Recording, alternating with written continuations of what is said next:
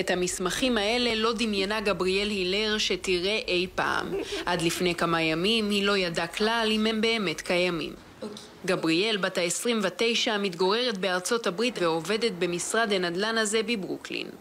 היא נולדה והתחנכה באי האיטי שבקריבים. I'm an only child, but my family is very, very vast and extensive. In fact, my great grandfather had 12 children. אף על פי שנפטר לפני שנולדה והיא לא זכתה להכיר אותו, סבא רבא של גבריאל, הקטור פולט, תמיד היה דמות מרכזית במשפחתה. He was a Baptist pastor, mathematician, he was senator for a bit as well. So a lot of what I know about him has been surrounded by mystery.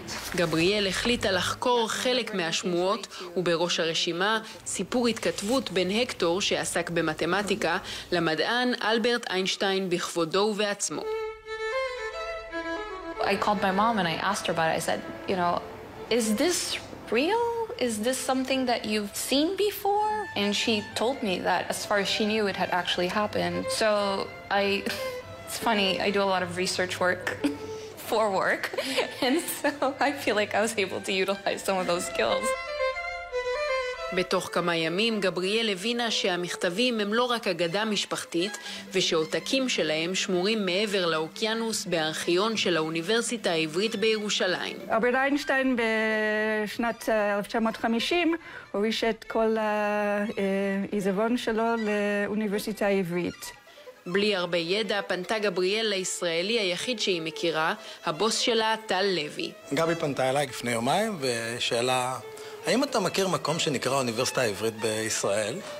ניסיתי להסביר קצת שזה כמו לשאול האם מישהו מכיר פה את קולומביה או פן סטייט. טל אז החליט להשתמש ברשת החברתית טוויטר וצייץ. אני מחפש מישהו עם גישה לארכיון של האוניברסיטה העברית. מהר מאוד הגיעה הפנייה לחיה בייקר בארכיון אלברט איינשטיין. ביום רביעי קיבלתי טלפון לקראת סוף היום מבחור ישראלי שגר בניו יורק, והוא אמר לי שיש לו אה, עובדת מהייטי שסבא רבא שלה התכתב עם איינשטיין לפני המון שנים. עכשיו גבריאל מגלה את ההתכתבות הזו בפעם הראשונה מול המצלמה שלנו.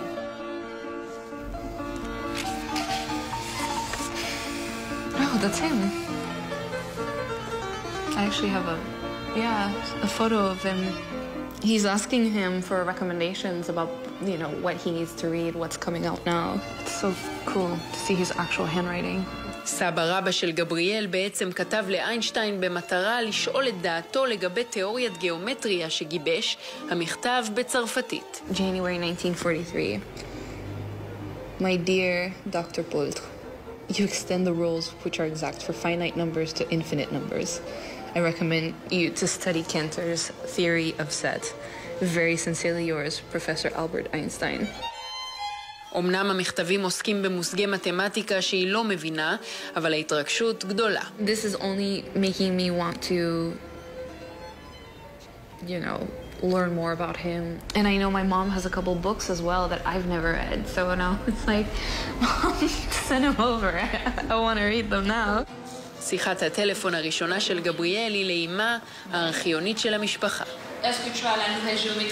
It's nice to have somebody that you can point to and be, you know, and, and sort of like connect him to this great thing. את החיפוש אחרי חייו של הקטור פולט, גבריאל רק התחילה, והשאלות עדיין רבות.